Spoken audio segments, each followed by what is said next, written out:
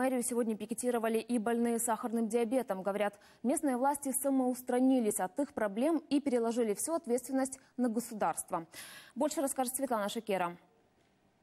Вот это шприц-ручка с продленным инсулином, который кулится утром и вечером. Из-за тяжелой формы сахарного диабета Татьяна Кокарева вынуждена делать уколы инсулина пять раз в день. Датский препарат ей уже 18 лет бесплатно предоставляет государство. В сентябре дали лишь одну из девяти необходимых ампул.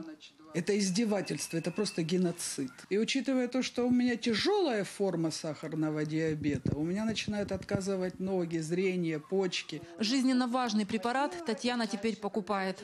Учитывая, что пенсия у меня 1400 гривен, а один пенфил инсулина стоит 130 гривен, 9 штук купить и прожить, сами понимаете, насколько сложно. В месяц это идет от 1150 гривнах. В аптеках уверяют, препарат не дефицитный. Вот отечественный фармацелин. Но чтобы получить его бесплатно, больные должны взять у врача рецепт, а их в последние месяцы попросту не выписывают. В поликлиниках объясняют, нет денег, чтобы расплатиться с аптеками за лекарства. Государство выделило только половину от необходимого.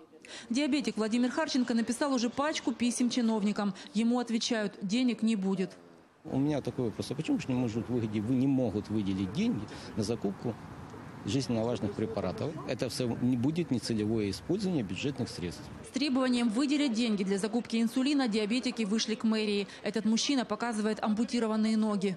У меня тяжелая форма диабета. И я 12 числа должен получить инсулин. Звоню, а мне говорят, не знаем, когда вам прийти сюда. Но в мэрии непреклонны. Государственная программа должна быть выполнена. В этой связи пусть министерство позаботится о том, чтобы она была выполнена. Нам до конца года необходимо дополнительно хотя бы 12 миллионов гривен. Пока чиновники ждут денег от государства, диабетики объединяются в общественную организацию, чтобы действовать сообща. Светлана Шикера, Александр Яновский. Подробности телеканал Интер Харьков.